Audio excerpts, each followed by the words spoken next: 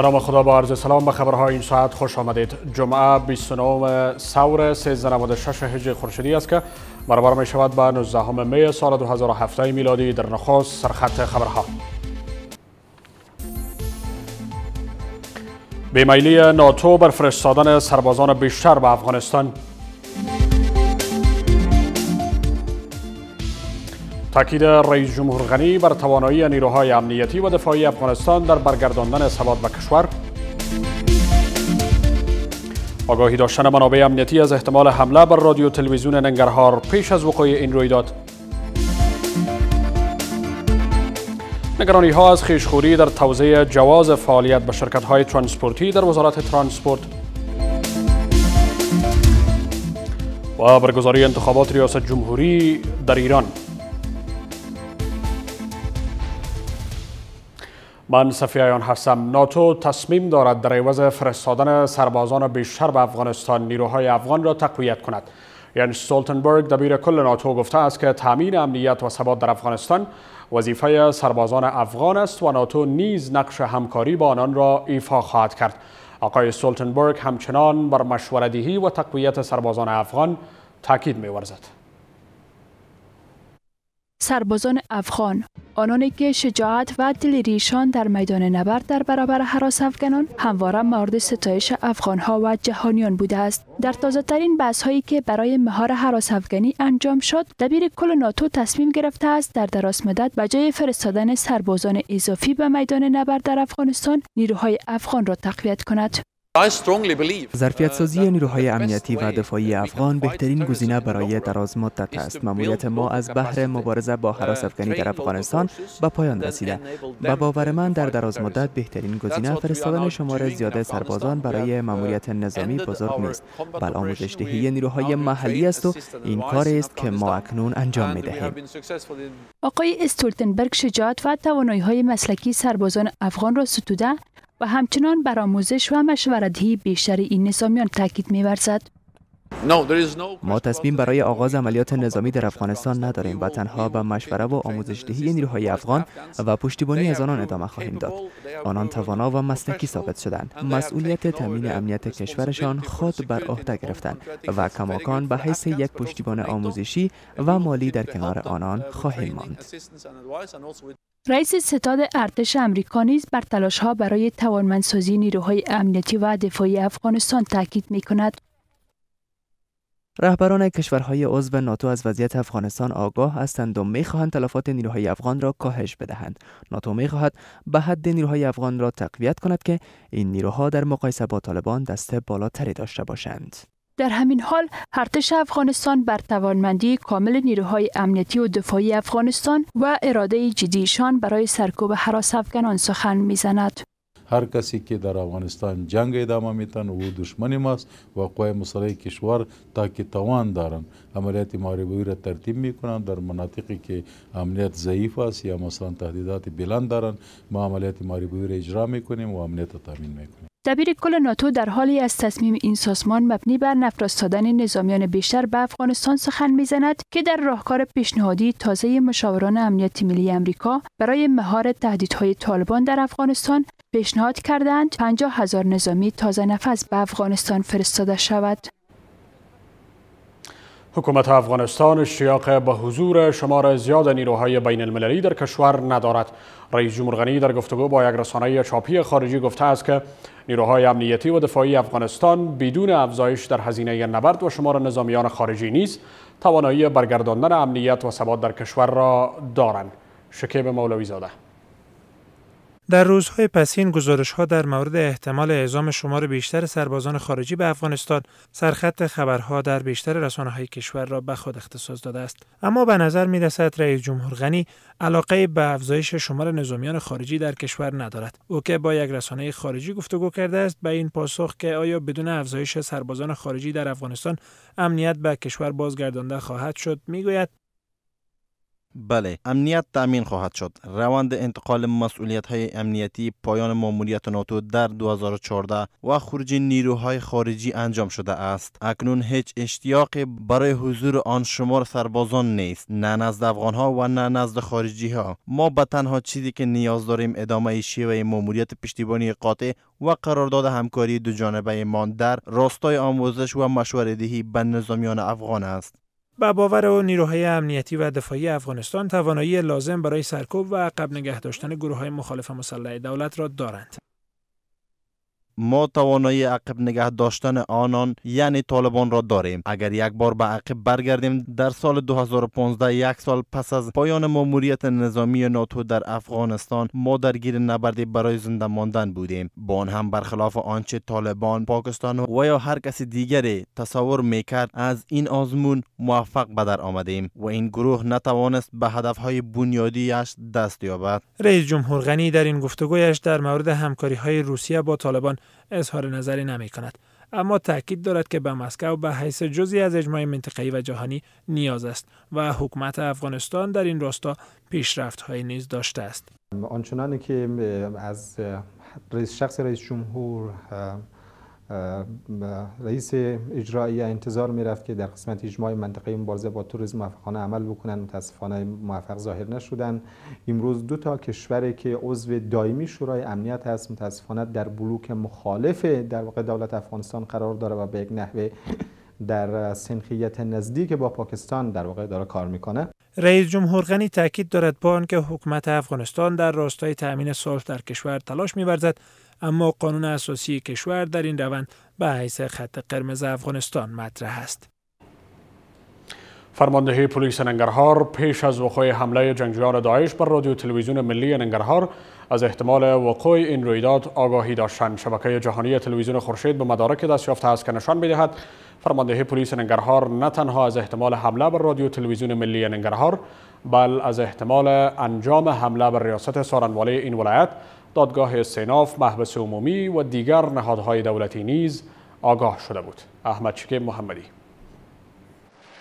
کوتاهی فرماندهی پلیس ننگرهار در کار جلوگیری از حمله داعش بر رادیو و تلویزیون ملی این ولایت مدارک دریافتی شبکه جهانی خورشید نشان می دهد که پنج روز پیش فرماندهی پلیس ننگرهار از احتمال وقوع حمله جنگجویان داعش بر رادیو و تلویزیون ملی ننگرهار آگاه شده بود.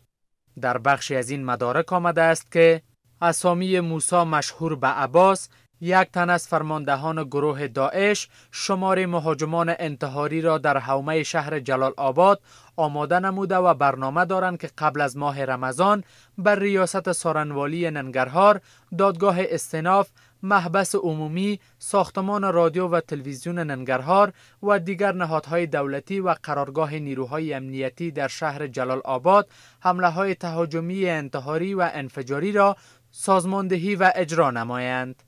خواستیم که در این باره دیدگاه فرماندهی پلیس ننگرهار را داشته باشیم اما با تلاش های پیهم موفق به انجام این کار نشدیم.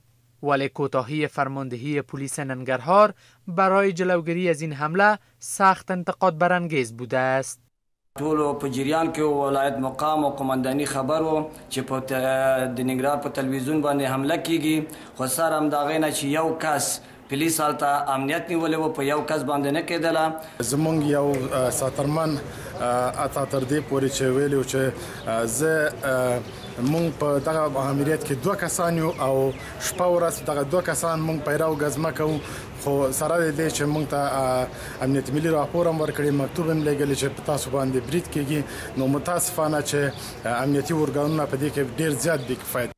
برخی ها نیز فرماندهی پلیس ننگرهار را در کار جلوگیری نکردن از حمله جنگجویان داعش بر رسانه ملی ننگرهار متهم می سازند. ای پس ببینه نه غفلت است و نه به حساب سلنگاری بس بلکه حمل قصدی است در حمله چهار مهاجم داعشی بر ساختمان رادیو و تلویزیون ملی ننگرهار که سه روز پیش انجام شد دست کم شش تن مشمول دو کارمند این اداره دو غیر نظامی و دو پلیس کشته شدند و 20 تن دیگر زخم برداشتند. طالبان یک گروه نیستند از این رو صلح کردن با همه آنان. ممکن نیست آصف صدیقی معاون دوم مجلس سنامه افزاید که تقسیم بودن طالبان به های گوناگون روند گفتگوهای صلح با آنان را با مشکلات روبرو کرده از این حال برخی از اعضای مجلس نمایندگان باورمندند که گفتگوهای مسالمت آمیز با طالبان نامطلوب خواهد بود تا پاکستان از پشتیبانی آنان دستبردار نشود. گیتی رحیمی. صلح زیباترین رویای دیرینه و همیشگی شهروندان افغانستان. هرچند از تلاش ها برای پیوستن طالبان به روند صلح سخن زده می شود و سخنگوی حزب اسلامی نیز چند روز پیش گفته بود که گروهی از طالبان برای پیوستن به پروسه صلح با آنها تماس گرفتند. موردی که اندک نگذشت رهبر طالبان آن را بنیاد و تبلیغات بیجا عنوان کرد. اکنون باورها بر این است که هرچند تلاش ها برای پیوستن طالبان به روند صلح ادامه دارد اما احتمالا منشعب بودن طالبان به بخش های گوناگون مطلوبیت آن را به مشکل روبرو کند. طالبایی که علاقمند به صلح هستند اونا با واقعیت با حزب اسلامی در تماس هستند. ولی ما باید بگوییم که خود طالبا چندین گروه هستند. ولی کسانی که سخنان رهبر اسلامی رد کردن. اونا کسانی هستند که نه قبلا نه فعلا نه بعدا اونا صلح نمی‌خواین برخی از اعضای مجلس نمایندگان نیز بر منشعب بودن شاخه های طالبان تاکید کرده و گفتند صلح کردن با همه آن جناها ممکن نیست. دا ډیره مشکله ده چې یو د بل ومني او هر یو په ځان یو په بل باندې ځان برلاسي بولي. نو د دوی برلاسي کله منځه لاړه نشي او دوی سره یو نشي فکر کوم چې د سولې پر راوستو کې به مشکل د افغان امنیتي ځواکونه او زموږ حکومت ډیر په مشکل دوی سره سولې ته کې برخی از آگاهان می افزایند نتیجه امضای توافقنامه تا اکنون ناکام بوده و بعد از اندک زمان نیز تاثیرات این روند مشخص تر خواهد شد. ببینیم که در آینده بسیار نه چندان دور در آینده نزدیک چه اتفاقاتی رخ میده. بعد از او سرنوشت صلح روشن میشه. اما برخی از اعضای مجلس نمایندگان هیچ گونه گفتگوهای مسالمت آمیز را با طالبان نپذیرفته و باورمندند به آواز طالبان باید با بادارانشان در آن سوی مرز گفتگو شود. طرف ما مشخصا پاکستان آیسای پاکستان ارتش پاکستان هست و باید این گفتگوها با باداران طالبا یا کسایی که آمر طالبا هستند با اونا مستقیما انجام بشه نه با طالبان. خواستها بر این است که حزب اسلامی با احزابش باید برای تامین امنیت های جدی را روی دست گیرند. حکمتیار باید بپذیره و این پروسه به طور خوبش تطبیق بکنه و روی وضعیت امنیتی افغانستان با احزابش کار بکنن تا وضعیت امنیتی افغانستان به حالت خوبش بیایه باورها بر این است که اگر پیوستن طالبان و نحوه ارتباط آنان با این حزب مشخص نگردد و پیوستن گلبودین حکمتیار بر بهبودی امنیت تاثیرگذار نباشد بنا مطلوبی این توافقنامه مشروعیت همه جانبه خواهد بخشید. وزیر صحت عامه می‌گوید که تبابت در بیشتر بیمارستانهای خصوصی تجارتی شده است. آقای فیروز میپذیرد که برخی از بیمارستانهای خصوصی بیشتر به ارائه خدمات با کیفیت و ارزان توجه نکرده و در تلاش سودجویی انواعی تاکید می‌کند که این وزارت در تلاش جلوگیری این وضعیت در بیمارستانهای خصوصی است. جزئیات از امید دولت در گوشه از شهر کابل با سه باشنده ولایت خوست روبرو می شویم که به یکی از های خصوصی در کابل مراجعه کردند. سید رحمان از بیمارانی است که به گفته خودش دچار مشکل جدی نیست اما در سه بار مراجعه کردن به یکی از های خصوصی بیش از 50 هزار افغانی هزینه کرده است. مجبوره خلکو درسی کنه مسکه څوک نرسي دیمونه چې نن کومې پیسې خوځي دا کینو په میاشت کې نشم ګټلای خو دې کې سانه اوس یې په مخ کې دی بل زنانه نه ولس نیم زر افغانۍ خوستاله ولس نیم زر همراهش که نیز بیمار می باشد از برخورد نادرست و غیر اخلاقی رئیس یکی از بیمارستانهای خصوصی این گونه سخن می‌زند. رئیس په ځواب کې مونږ ته وویل چې که پیسې نه لرې دلته مه راځه دلته ما ورته وویل چې که زه پیسې نه لرم دلته مرم چی وکړم مړ شم. از سوی هم یکی از اعضای خانواده بیمار در یکی از بیمارستانهای خصوصی به این باور است که در بیمارستانهای دولتی خدمات با کیفیت بهداشتی ارائه نمی شود و بنابراین مردم بیمارانشان را به بیمارستانهای خصوصی می‌برند. کس پرسان از هیچ وقت نکرد. تقریبا دو شب رفتم پیش دکترش رفتم تیر خودم. بالاخره آوردم در شفاخانه شخصی آوردم که یک لک رو مصرف شد.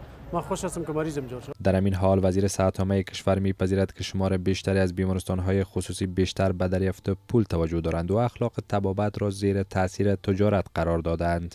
که هر کسی که در خانواده تبابت است یا در سکتور صحت است یک چیزی را به نام اخلاق تباوت میگن. متاسفانه که این گپ یک ذره زیر تاثیر بازار و مارکت رفته. آقای فیروز تاکید می کند که وزارت صحت به یک بارگی توانایی مهار این وضعیت را ندارد. اما با همکاری نهادهای زیرب این موزل را ریشکن خواهد ساخت. دوم گپ موضوع نظارت منظم و سیستماتیک مسئولین خصوصا وزارت صحت یا ادارات مسئول. او هم سبب این میشه که این کار به درستی انجام نشه.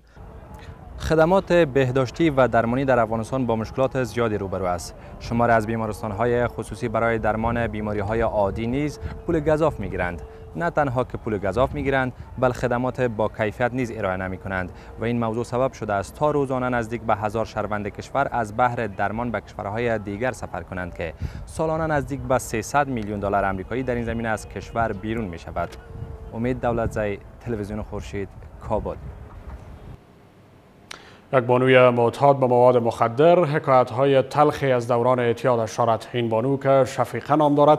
با چهار فرزندش در بیمارستان صد به سر معتادان زنان و کودکان زیر درمان قرار دارد. وی خانوادهاش را عامل بنیادی اعتیادش می‌داند. وی از حکومت می‌خواهد تا جلو فروشندگان مواد مخدر را بگیرد. شگوفه صدیقی. مواد مخدر پدیده ای است که در سالهای پسین شمار زیادی از شهروندان افغانستان به ویژه جوانان را آغشته ساخته است. اکنون نگرانی بزرگتر افزایش شمار بیشتر بانوان در میان این معتادان است. شفیقه یکی از این بانوانی است که با چهار فرزندش برای درمان اعتیادش در بیمارستان صد بستر معتادان زنان و کودکان به سر می‌برد. این بانو حکایت های تلخی از دوره اعتیادش دارد. علت معتاد شدن به این بود که ما از ایران آمدیم. اینجا نزدیک چهار ماه اینجا تقریبا چهار دیر کردیم ما اینجا. به خاطر که خانواده خودم بوده شوهرش به دلیل بیکاری به ایران سفر کرده و در همان مدت او که در خانه پدرش زندگی می کرده است با توجه به اینکه پدر و پسر کاکایش معتاد بودند و این نیز به این پدیده اعتیاد پیدا کرده است. در خانه ما من پدرم مادرم بچه کاکایم. یه معتاد بودن من چه پنج روز اینجا بودم بودم. وقتی هم که رفتم و مصرف کردم رفتم نتونستم. پس هم شروع کردم. این پودر شیشه پس رو پس کردم. بزرگترین نگرانیش آینده فرزندانش است. و از حکومت می خواهد تا با توضیح کنندگان مواد مخدر برخورد جدی نماید. من از دولت خواهشم همیست که این فروشنده که بیرون هستن بگیرم. اونایی که هم که مریضایی که بیرون هستن هم خواهشم هم از اوناست که دی شفاخانه بیان تنها خواهش دارم این فروشنده رو کم کنم بگیرم شفیقه یکی از 900 هزار بانویی است که بر بنیاد اطلاعات وزارت صحت عام کشور معتاد به مواد مخدر هستند. تا لحظات دیگر خبرهای اقتصادی را دنبال کنید.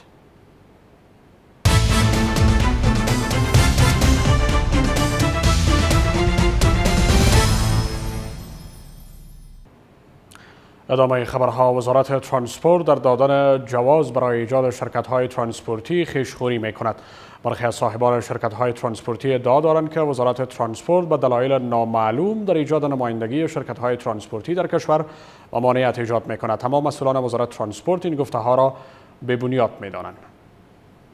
محمد علی عطایی یکی از صاحبان شرکت های ترانسپورتی است. وی می‌گوید 45 روز است که برای گرفتن جواز ایجاد یکی از نمایندگی هایش در میدان هوایی کابل به وزارت ترانسپورت می رود اما وزیر و معین این وزارت به بهانه های گوناگون برای دادن جواز در میدان هوایی کابل در اجرای کارهای او به اعتنایی می کنند این صاحب میرم میگه وظیفه وزیر است در نام ما چاپ کن. در نام مو از نام وزیر کدوم؟ مستقیم رفتم با اونا شدم اصلا کس امضا نمی‌کنه و کار نمی‌کنه. 45 روز ما یک مکتوب قانونی طبق ماده دهم قانون اساسی ما باید فعالیت کنیم برای ما داده نمیشه. اما مسئولان وزارت ترانسپورت با رد این ادعاها می‌گویند آقای عطایی بدون طی مراحل روند جوازگیری و اخذ امر قانونی از فرمانده سرحدی میدان هوایی کابل به این وزارت آمده است. در حالی که دادن اجازه برای ایجاد نمایندگی مربوط به فرماندهی سرحدی میدان هوایی کابل می باشد اینا باید اونمو رای حل که است باید اونا را بسنجن. وقتی ما نمی‌تونیم تداخل وظیفه‌ای ما نمی‌تونیم مداخله با کارش وزارت مر... یک وزارت دیگه داشته باشیم. وقتی وزارت ترانسپورت از مطابق قانون مطابق لایحه وظایف خود فعالیت می‌کنه. این در حالی است که پیش از این نیز وزارت ترانسپورت از میان 943 شرکت ترانسپورتی 230 شرکت آن را به دلیل رعایت نکردن قوانین ترافیکی و استفاده رانندگان از مواد نشه آور در حالت رانندگی لغو کرده بود.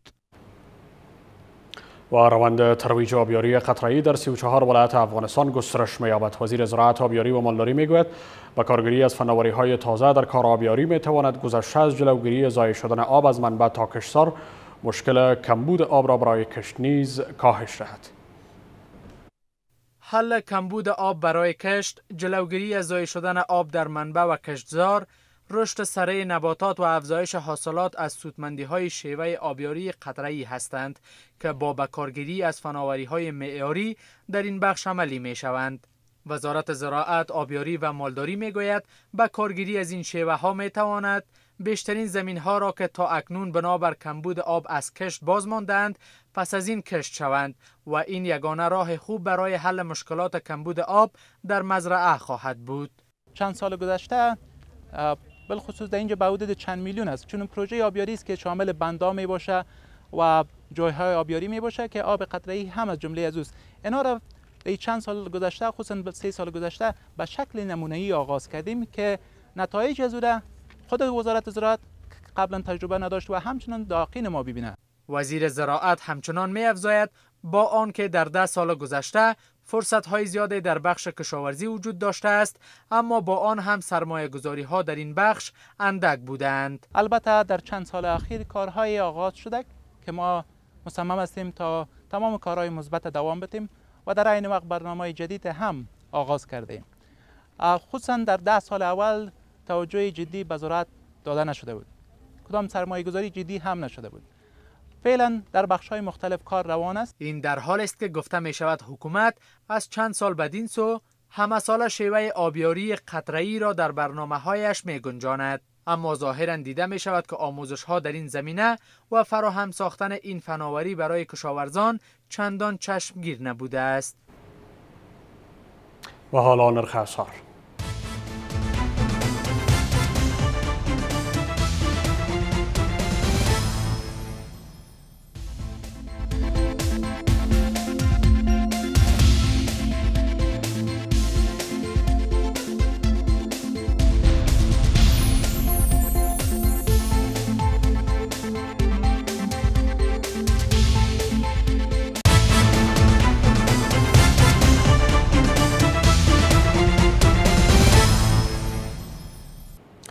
ادامه خبرها باشندگان ایران امروز برای اشتراک در دوازدهمین دور انتخابات ریاست جمهوری با پای صندوق های رای رفتن در این دور از انتخابات حسن روحانی رئیس جمهور کنونی ایران که نماینده اصلاح طلبان است شانس زیاد برای پیروزی دارد و در حاشیه انتخابات ریاست جمهوری انتخابات شورای شهر و روستاهای ایران نیز برگزار می گردد. روسیه و سوریه حمله جنگنده های اطلاف ضد داعش به رهبری امریکا بر شبه نظامیان طرفدار دولت را محکوم کردند. بر بنیاد گزارش ها یک جنگنده اطلاف به رهبری امریکا دیروز یک کاروان شبه نظامیان طرفدار دولت سوریه را در نزدیکی مرز اردن آماج قرار داد و یک مقام نظامی ارتش سوریه در پیوند به این رویداد نیز گفته است که این حمله حاکی از پوچ بودن ادعای امریکا مبنی بر مبارزه با حراس افغانی است. حکومت ژاپن امروز لایحه کنارگیری آکیهیتو امپراتور این کشور از قدرت را تایید کرد.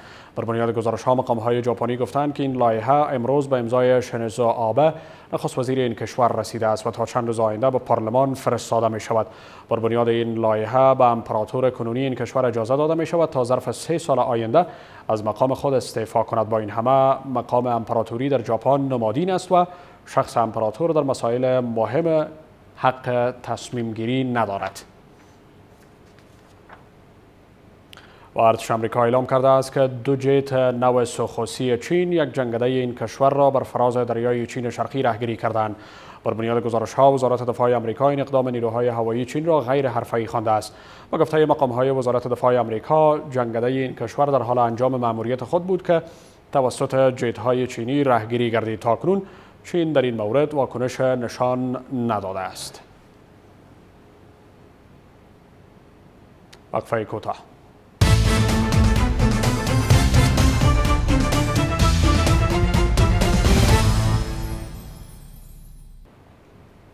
رویدادهای ورزشی شب نخست هفته 38 رقابت های فوتبال لالیگای آسپانیا امشب با یک دیدار جذاب پیگیری می شود در حساس ترین این رقابت ها تیم های فوتبال گرانادا و اسپانیول به مساف همدیگر می روند و این دو تیم در حال به مساف همدیگرشان قرار می گیرند که در هفته پیشتر این مسابقات در برابر حریفانشان شکست خورده بودند. در ادامه رقابت های نهایی کنفرانس شرق لیگ برتر باسکتبال آمریکا یا NBA تیم باسکتبال کلیولند کاوالرز در بازی نخست رقابت های نهایی تیم باسکتبال بوستون سلتکس را با نتیجه 117 برای 104 از پیش رو برداشت دیدار دو تیم در تالار TD Garden شهر بوستون در حال برگزار شد که بازیکنان کلیولند با غلبه بهتر در برابر حریف امتیازات شیرین این رقابت ها را برای تیمشان کسب کردند. و در پایان هم کریستیانو رونالدو ستاره پرطرفدار تیم فوتبال رئال مادرید با درخشش عالیش در این فصل رقابت های فوتبال و با به ثمر رساندن 368 گل به تنهایی در صدر گلزنان تاریخ پنج لیگ معتبر اروپا قرار گرفت.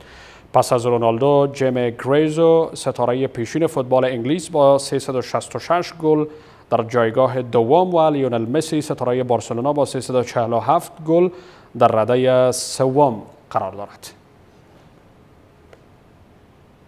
چگونگی وضعیت هوا